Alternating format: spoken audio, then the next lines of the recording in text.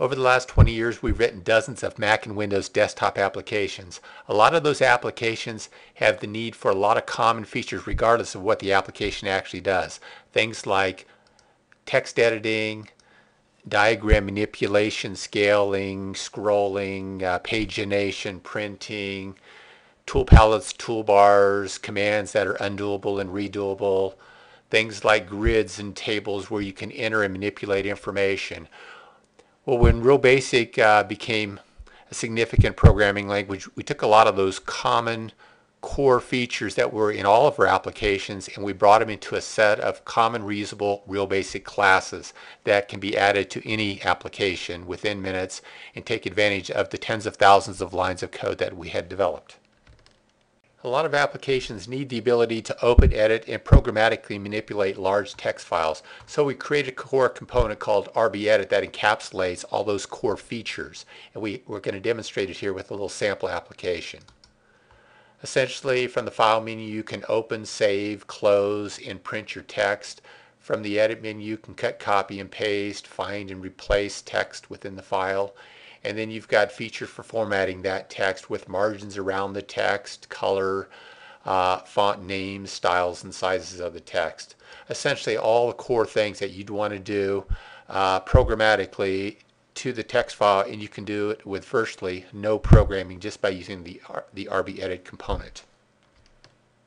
A lot of applications need to present a drawing surface. They need toolbars and tool palettes and undoable commands. So we've created some core components, RB View, RB Palette, and RB Command, which we'll demonstrate and a little sample application. In this application, you can see that there's a toolbar across the top with various common tools that you'd see for opening, saving, and closing documents, maybe printing a document, some tools for creating objects on a diagram, and let's just take a look at a few of these. For example, if we put a box on the diagram, we can scale the box bigger and smaller. Uh, we can also take and uh, if we do an operation, we can undo and redo the operation.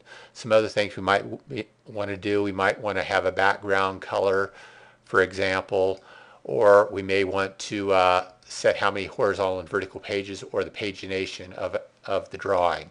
There's a lot of things that are commonly done in lots of types of applications and a lot of those core features can be put into just a couple of component classes that can be reused. A powerful grid component can be used in almost any application. We'll demonstrate the RB grid component in a little sample application here. A grid's essentially a set of columns and rows and here we can see we have a column of static information. Uh, we have a column of information where the cells can be manipulated as uh, edit fields. Uh, here we have a uh, pop-up menu where you can change information within that particular uh, cell of the grid. And here we have a combo box where you can either type information or select from a drop down. Here we had a, have a set of checkboxes that you can uh, set or clear, uh, radio buttons that can be presented either uh, horizontally or vertically. Uh, we can have a slider bar uh, where we can slide and we can have information from one cell connected programmatically to another cell. Some other things you can do with grids, for example, uh, you can have fixed header rows on across the top or along the left-hand edge. Uh, you can, of course, change the color and the fonts and the styles of, of any cell within the grid. Uh, the cells within the grid can be uh, read from a file to populate them, uh, programmatically manipulated and make connections between different cells of the grid. Uh, it can be saved out. you can have live data cells where cells of the grid actually connect to a database. Uh, you can make vi rows visible or invisible. For example, uh, let's make row 3 right along here, make it invisible. It's still contained within the component, uh, but you can hide and then show the data within a particular row or within a particular column. You can flip uh, columns around and rows around, and here's a couple demonstrations of that. There's a lot of things you can do with a powerful grid component within virtually any kind of application.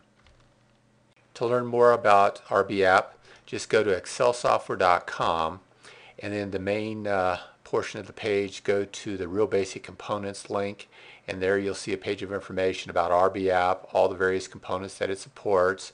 There's also links to download RB app and try it on your own project, and there's step-by-step instructions that will actually get you up and running on an existing project or a new REALbasic application uh, within about 10 minutes.